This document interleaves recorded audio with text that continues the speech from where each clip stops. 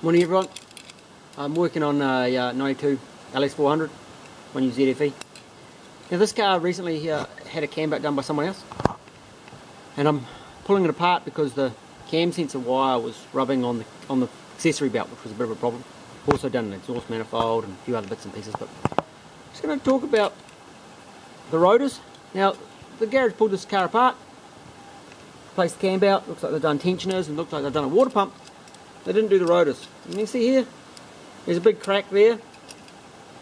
Up around the edge here, it's falling to pieces, it's cracking. Can't really see it, can we get in there?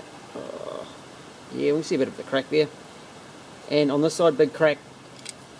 The distributor cap, I couldn't actually get the coil lead out, and the end of the coil lead is stuck. In the end, it's all corroded and ugly and horrible. Um, inside, there's corrosion and crap happening inside, which is pretty normal.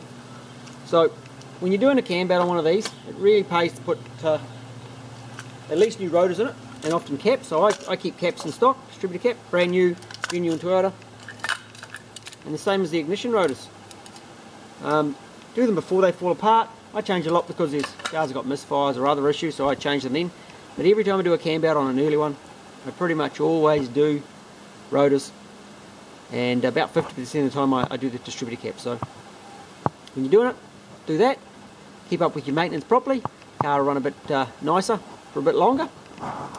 So um, contact the Cartune company. We've got those parts in stock most of the time. So I hope that's helpful. We'll talk to you again.